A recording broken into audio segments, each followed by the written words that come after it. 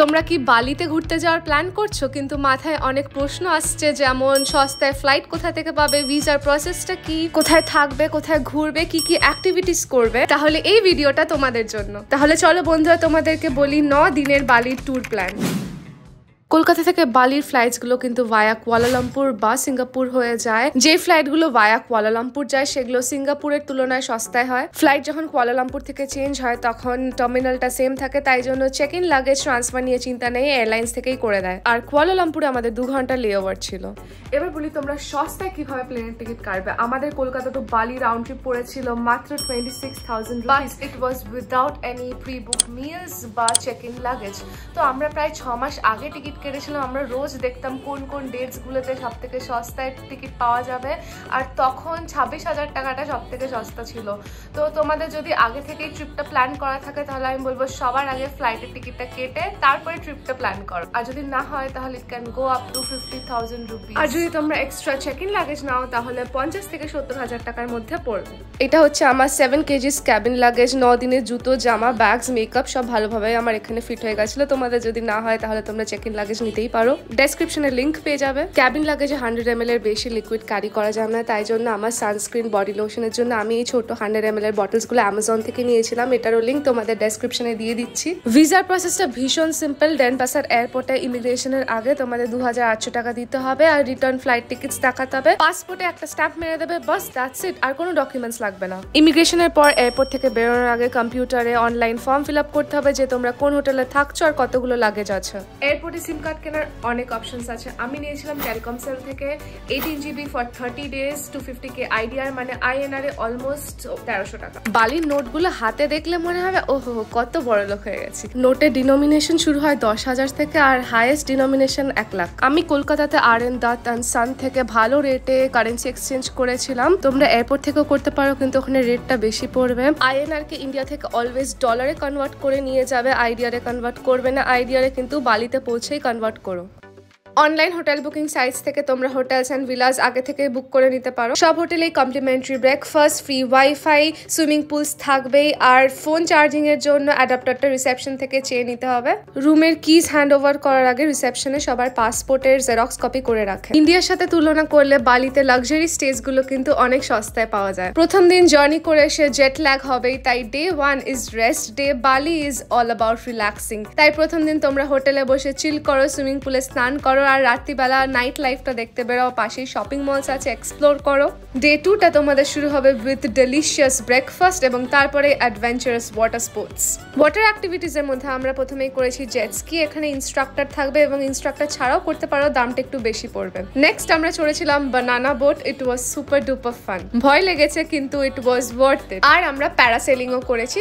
অনেক water activities আছে, তার মধ্যে এই তিনটেই করেছি। বাকি ওয়াটার অ্যাক্টিভিটিসগুলোর রেটস আমি এখানে দিয়ে দিয়েছি, তোমাদের যেটা ইচ্ছা তোমরা করতে পারো। ও, আর সাথে এক্সট্রা জামা নিয়ে যেও। তারপর উলুওয়াটু টেম্পল এক্সপ্লোর করে সানসেট দেখে ব্যাক টু ইয়ার হোটেল আর বাকি দিনটা রিল্যাক্স করো। ডে থ্রিতে ইন্ডোনেশিয়ার one of the most beautiful island ঘুরতে পারো। নুসাপ্যানিডা যাওয়ার জন্য বালি থেকে সকাল সাড়ে সাতটায় ফার্স্ট বোট ছাড়ে আর লাস্ট বোট হবে সন্ধ্যে পাঁচটায়। যেতে চল্লিশ মিনিট সময় লাগে। তোমাদের সময় বুঝে ওখানে নাইট স্টে করতে পারো বা আমাদের মতন সেম ডে রিটার্নও করতে পারো। এই বিচেসগুলো ওখানে যাওয়া ম্যান্ডেটারি এত সুন্দর বিচেস ওখানে সামনাসামনি অনেক বেশি সুন্দর ভিডিওর থেকে। নুসাপ্যানিডা আইল্যান্ডে ফরেন ট্যুরিস্টদের ঢোকার জন্য কিছু ডোনেশন দিতে হয়। সেটা হচ্ছে প্রায় তেরোশো টাকা পড়বে আমাদের আইএনআরে ডে ফোরে আমার ফেভারিট জায়গা গিলি চা বাগান এক্সপ্লোর করতে পারো। শর্ট ফ্রম গিলিটি বালি থেকে দু ঘণ্টা লাগে ওখানে যেতে, আর লাগেজের ম্যাক্সিমাম ক্যাপাসিটি টোয়েন্টি কেজিস তার বেশি হলে এক্সট্রা চার্জেস নেবে। গিলিটিতে এন্ট্রি আর এক্সিটের সময় হারবার ট্যাক্স দিতে হয় fifty rupees per person Gili T explore করার জন্য বেস্ট অপশন হচ্ছে বাইসাইকেল আর বাইসাইকেলের রেন্ট নিতে হলে পাঁচশো টাকা for twenty four hours it's a party island সারাদিন রিল্যাক্স করো পার্টি করো এনজয় করো। Now it's time to explore Ubud পরের দিন সকালবেলা গিলিটিতে ইয়ামি ব্রেকফাস্ট করে সুইমিং পুলে রিল্যাক্স করে, তারপর আবার দুপুরবেলা ব্যাক টু বালি আইল্যান্ড বালির হারবার থেকে উবুদের হোটেল অব্দি পৌঁছাতে দু ঘণ্টা সময় লাগবে, তো সেই দিন আমরা আইটনারিতে আর কিছু রাখব না। ভিলাতে বসে সারাদিন রিল্যাক্স করো, বন্ধুদের সাথে আড্ডা মারো, ভালো মন্দ কিছু খাও সুইমিং পুলে স্নান করো। ডে সিক্সে উবুদ সাইট সিং প্রথমেই আছে তেগনুগান ওয়াটারফল। এখানে যাওয়ার জন্য দশ মিনিট মতন সিঁড়ি দিয়ে নামতে হবে। তারপরে ভিউটা কিন্তু অসাধারণ। আর এখানে গেলে অবশ্যই সুইমিং কস্টিউমস নিয়ে যেও। তারপরে লুয়াক কফি প্লান্টেশন। এখানে তোমাদের ওয়ার্ল্ডের সব থেকে এক্সপেন্সিভ কফি কীভাবে বানানো হয় সেই প্রসেসটা দেখাবে। তার সঙ্গে বিভিন্ন ধরনের কফি আর চা টেস্ট করতে দেবে। এবং তোমরা এখান থেকে এই লুয়াক কফি এবং বিভিন্ন ধরনের চকলেটসও কিনতে পারো। বেশ নতুন ধরনের একটা experience. You have to try it next Kintamani view point এখান থেকে মাউন্ট বাটুর দেখা যায়, যেটা একটা অ্যাক্টিভ ভোলকেনো। তারপর the famous Tegallalang rice terrace, এখানে তোমরা ভীষণ কিউট কিউট পিকচার্স তুলতে পারো সুইংসে চড়তে পারো। ভীষণ সুন্দর জায়গাটা ফটোশুটের জন্য পারফেক্ট প্লেস দিনের শেষে তোমরা শপিং করতে পারো। আমরা কৃষ্ণ নামের একটা শপিং সেন্টারে গেছিলাম। এখান থেকে বিভিন্ন ধরনের ব্যাগস ড্রেসেস চকলেট সব কিনেছিলাম। Day seven is full of adventures প্রথমেই আছে river rafting duration two hours গাড়ি করে এখানে নিয়ে যাওয়া হবে, তারপর বেশ কিছুক্ষণ ট্রেক করে আমরা পৌঁছাবো রিভার রাফটিং এর স্টার্টিং পয়েন্টটা এটা টেন কিলোমিটার্স লং আয়ুং রিভারের রাফটিংটা হচ্ছে। রিভারের ফ্লো খুব একটা বেশি না। মাঝে একটা ওয়াটারফল আছে, আর শেষের দিকে তোমরা সুইমিংও করতে পারো। তারপরে এই দ্য ফেমাস বালি সুইংস অনেকগুলোই বালি সুইংস আছে। আমরা গেছিলাম বালি জঙ্গল সুইং এ। এখানে এন্ট্রি ফি এর সাথে কমপ্লিমেন্টারি লাঞ্চও দেবে। বিভিন্ন ধরনের দোলনা আছে আর নেস্ট আছে এখানে।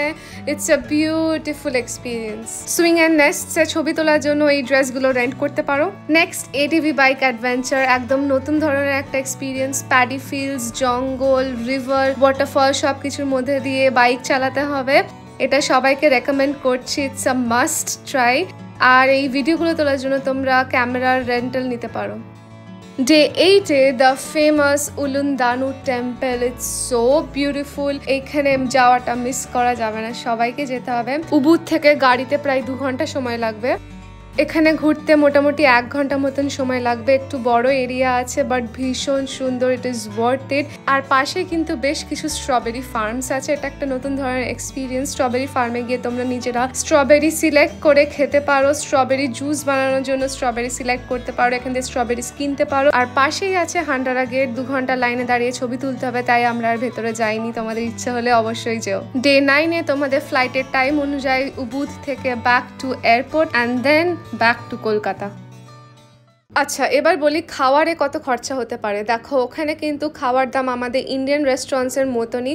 যেমন এই পিৎজাটা আমার টু ফিফটি রুপিস পড়েছিল, তাহলে পার মিল তোমাদের পাঁচশো টাকার মধ্যে হয়ে যাবে। ব্রেকফাস্টটা তো কমপ্লিমেন্টারি থাকবে, তাহলে রইল লাঞ্চ অ্যান্ড ডিনার ওখানে খাওয়ার কোনো প্রবলেম নেই, সব ধরনের খাওয়ার আছে। ইন্ডিয়ান রেস্টুরেন্টসও আছে, কিন্তু ইন্ডিয়ান রেস্টুরেন্টসের দাম বড্ড বেশি। আর এই যে নাসি গোরেং নাসি গোরেংটা ওখানকার local dish you have to try it খুব টেস্টি খেতে। এটা basically fried rice with egg and chicken এইসব ছাড়াও তোমরা ইনস্ট্যান্ট নুডলস জুসেস স্ন্যাক সব সার্কেল কে নামের সুপার মার্কেট থেকে within fifty to hundred rupees পাবে আর Circle K twenty four into seven open আর দু মিনিট পর পরই সার্কেল কে পাবে, তাই ওখানে খাওয়ার কোনো অসুবিধা নেই। বালিতে ঘোরার জন্য তোমাদের হোটেল থেকেই গাড়ি ভাড়া নিতে পারো, ওরা হোল ডে প্ল্যান অনুযায়ী চার্জেস নেবে। আর তোমরা যদি বাইক বা স্কুটি রেন্টাল নিতে চাও, তাহলে five hundred to eight hundred rupees পড়বে per day and obviously international license থাকতে হবে।